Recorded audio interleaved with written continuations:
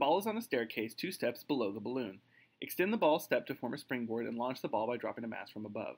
Gravitational potential energy of the falling mass becomes kinetic energy, then is stored as elastic energy within the springboard, then back into kinetic energy as the ball rises to the balloon.